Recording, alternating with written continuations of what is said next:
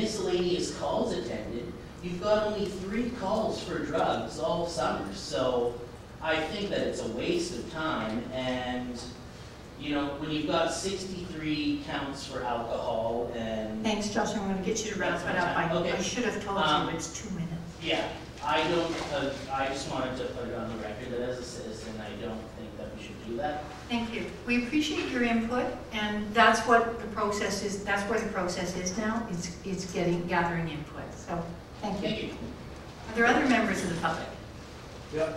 Thank you. Um, My name's Ryan Elson, and I live at nine forty Esquimalt Road. And I brought a couple of props with me today, so if you're planning on banning on the sale of bongs, this is a gravity bong. It costs about twenty cents to make. So if you like to find more of these things lying around in your community, then I suggest you allow people to buy something that's actually worth money that they're not gonna want to throw away like that. Right? A glass bong costs twenty or thirty dollars. Usually people keep it inside of their house and that's where they use it. So uh, unless if you want to find like, you know, aluminum pop cans and stuff, and and it's less healthy for people to consume their product that way. Um, and I suggest uh, not dictating to these businesses what legal products that they can sell. Uh, I believe that they have the right to sell any legal product uh, that's available on the market.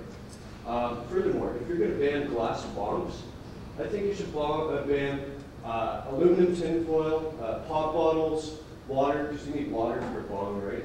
And finally, just uh, summarize things up, okay, I am a card-carrying member of the CBC. I use marijuana for medical reasons.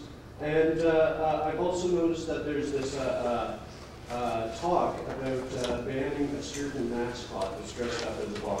And I can assure you that if you guys ban that mascot, I'm going to be assembling I'm- a I'm bunch gonna of ask paper you- mache- Hold on. That's not I'm within the business bylaw I'm- I'm going to be assembling a bunch of paper mache bong costumes, and I'm going to be walking around here with my pals, just to make the point. Thank you. Thank you. Welcome. Good evening. Dustin T, I live on Esquimalt Road. I brought two props too. Um, My favorite, I whipped it up in two seconds before I came down here. That is drug paraphernalia, because it made a carrot pipe. You can smoke anything in that pipe. It's like a corn cob pipe. Uh, Or scissors, drug paraphernalia. We're cutting up the tinfoil, put in this little carrot pipe. Apple, oh, flavorful pipe.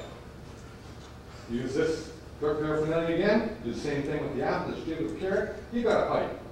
So, uh, trying to, to regulate what people sell in their own stores is not the purview of this council.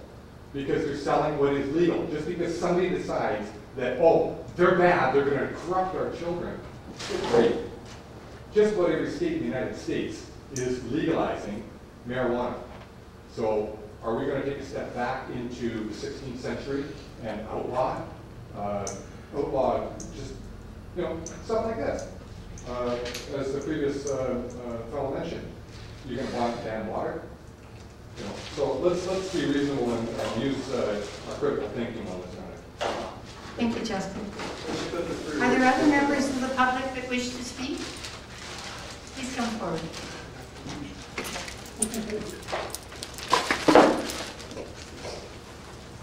No, my name's Keith Mulvey, and uh, 537 Prairie Street over in West Bay. And um, your worship, members of the council, um, I've been in Esquimalt for uh, over 10 years, and I'd like to be here in- well in my senior years. And I'd like to speak about development in general and the Triangle Lands of West Bay in specific, because it kind of, everything applies to all areas. I'm physically and more closer to Triangle Lands, so that's why I'm focused there. Um, When I say Highlands or Langford or Cook Street Village, they all bring an image to mind. And I'm just thinking, long-term, what image do we want locals and tourists to have of Esquimalt in the future? Um, I've read a great deal through the current OCP, and I see, and I see, I do see plans, but I see a deeper, updated vision of a holistic vision of what we want to present forward to, to the region, to the world.